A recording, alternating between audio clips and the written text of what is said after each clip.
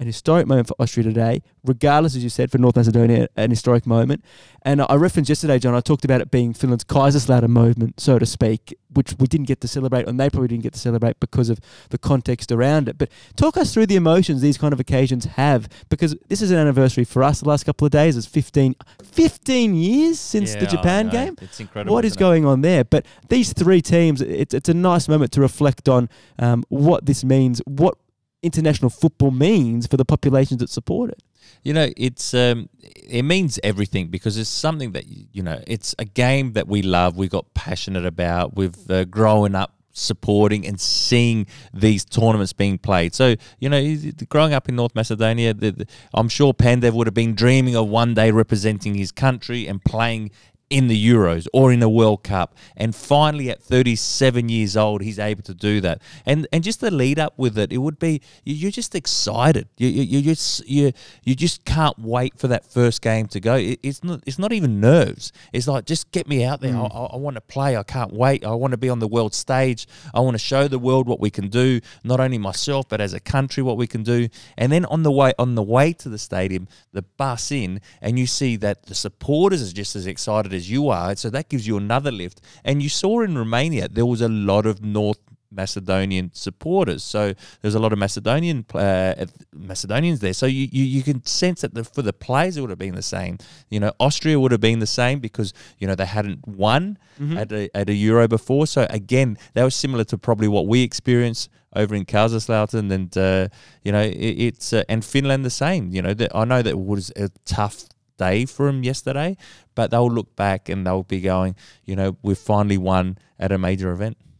And uh, speaking of you personally, Johnny, 15 years down the track, how often do people come up to you on the street and still talk about that moment? Not so much the Japan game because people forget about you bring that that one up instead. but actually, but is it? It's, it's you sometimes say that that Japan goal is actually almost. Do you say that's actually your favorite yeah, goal? Yeah, that, that's well, it's probably when people go, "What moment did you love the most?" In terms of between the Uruguay moment and also the Japan moment, and I, I say the Japan moment for me was more fulfilling because it was we're all there at the World Cup. It wasn't to get there; we were there, and and it was on the world stage. And and when you go to these tournaments, you know that everyone, not only in that country, but virtually whoever follows world football or follows football, stops and watch that watches that game. So you know, I don't know how many people around the world would have watched us against Uruguay for the qualifiers. You know, I I don't think there would have been many other than you know the Australians and the Uruguayans. Whereas when you're at a World Cup or you're at a Euro, the world stops to watch it, and that's where you know that it, you know it, it's you- you're on the biggest stage of all, and and that's a different feeling altogether. And plus, it was a dream to play at a World Cup. Fifteen years. Does it doesn't dilute it, does it? It still feel. Does it still feel when you think about it? Does it still give you chills? Oh no, it's not like I think about you know. Well, when we bring it up, or when you see it, you know, when we walk past, when you walk past the off sports screens, and they're, we're playing it for the fifteenth time in the.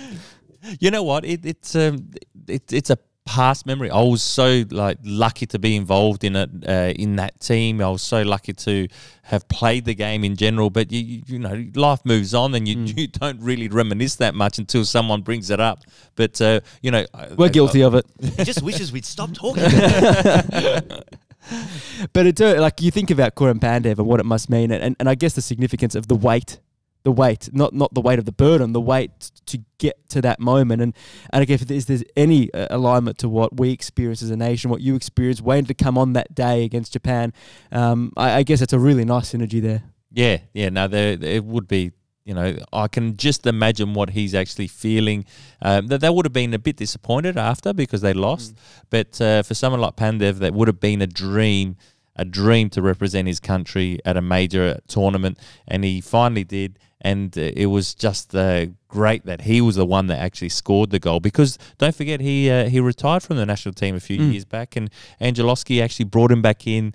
The first call he made, the first visit he made was Pandev, I need you because with you we could get and make uh, make a major tournament, and uh, and he actually gave him the belief, and and and that's what happened. And look, they they will be excited that they're there, disappointed that they lost, but I'll tell you what. They, yeah, they actually played well, and, and I'm sure that the next game there, it's not going to be so easy for the Ukraine. Enjoying our YouTube channel? Be sure to subscribe and download the Optus Sport app.